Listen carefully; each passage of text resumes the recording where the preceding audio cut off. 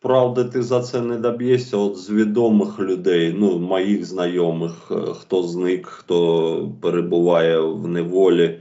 Е, це Петро Царевський з Старобельська. Ну, це вже літня людина, йому під 70 років десь. Він був е, ветераном Айдару, тому зразу потрапив в полон в перші ж дні окупації.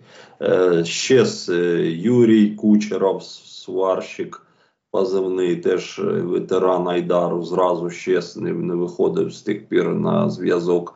Е, за нашого е, знайомого Віктора Ложку, ми ж з тобою вже неодноразово піднімали тему. Ну, це, скажімо так, військовополонений, якого навіть не визнають таковим, ну, як вони кажуть, це е, учасник націоналістичних батальйонів, тому він обміну не підлягає. Ну, як вони за Азов е, бійців також е, кажуть, ну, Вітя воював в складі Донбасу, і в перший же ж місяць, е, ну може в квітні, він потрапив в полон в рідному місті Попасне, захищаючи його. І так нема ніякої інформації за нього. А іншим потрапляють до в'язниці, тому що е, хтось, е, ну, мабуть, з місцевих мілі... міліціонерів, е, поліцейських цю інформацію повідомляє окупантам, що ну, цей е, перелік людей, які є проукраїнськими чи колись були учасниками АТО, він від місцевих. Я я так думаю, що про українське населення, ну те, що активно, скажімо так, свою позицію показувало останніми роками, воно е, від гріха подалі виїхало звідти. Все ж таки. Ти ж сам сказав, що колишніх ветеранів е, знайшли. Е, ветеранів Айдару і забрали. Я не знаю, Тетяна, ну на що розраховували ці люди? Залишаючись. Ну знову ж таки, це нам легко розмірковувати про їхню позицію. Окупація, скажімо так, Старобільського і Сватівського району відбулася за лічені дні. Ось 24-го вторгнення, 26-го вже окупанти були під Северодонецьком. Тобто вони на марші взяли ці райони. І хто встиг звідти виїхати, хто не встиг, то вже хтось. Тобто люди не встигли зорієнтуватися і прийняти правильне рішення. Да, ну багато от айдарівців я знаю, що я спілкувався з ними перед самим вторгненням, теж так балакали, хто що там, куди. Вони мали надію на якусь тероборону. Ми тут от згуртуємось, будемо відбиватися. Все це було провалено тією ж місцевою владою, до якої ми дойдемо. Е, все це було продано і здано. Тобто цих людей просто зрадили.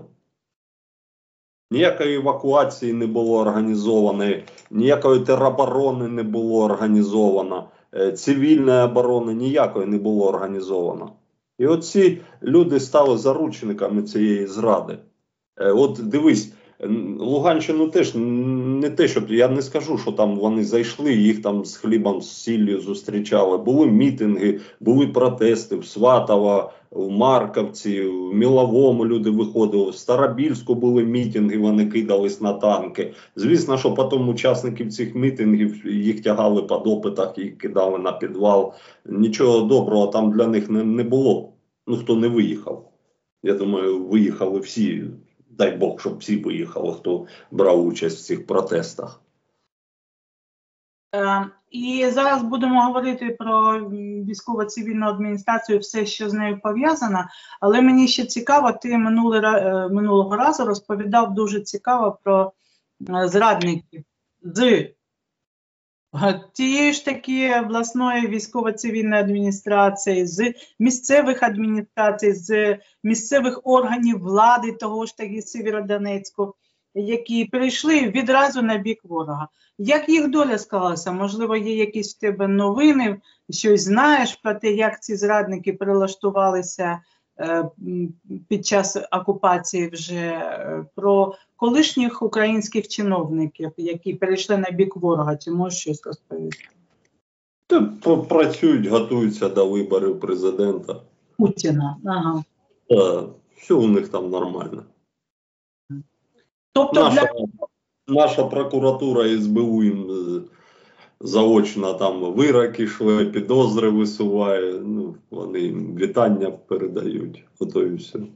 Ну, що саме показово, от я тобі зараз е, один факт е, надам, е, щоб ти зрозуміла відношення наших спецслужб і е, судових органів до зрадників і їхніх, скажімо так, всі учасники оцих е, тербатальйонів, е, батальйонів національної е, оцієї гвардії, ну нацбати, як вони називають, в Росії отримують пожиттєво.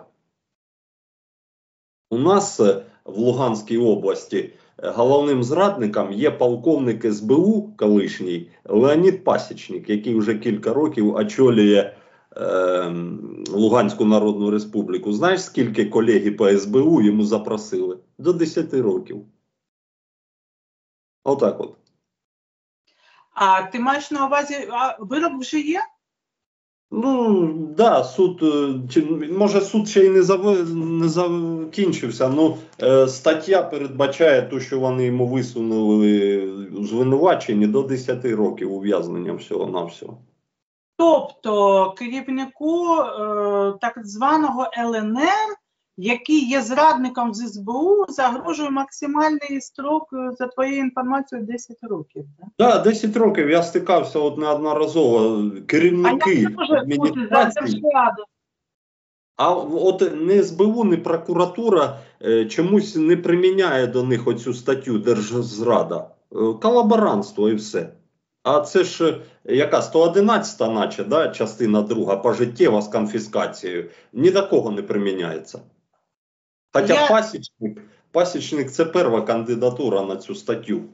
Е, Офіцер, е, вищий офіцер Служби безпеки, який зрадив державу і являє, являється вищим керівником е, окупаційної адміністрації. Отака м'яка стаття. От я е, спитав би у начальника третього відділення СБУ в Луганській і Донецькій області, у Віталія Вінниченка, це він по дружбі так зробив для пасічника, чи як отака стаття?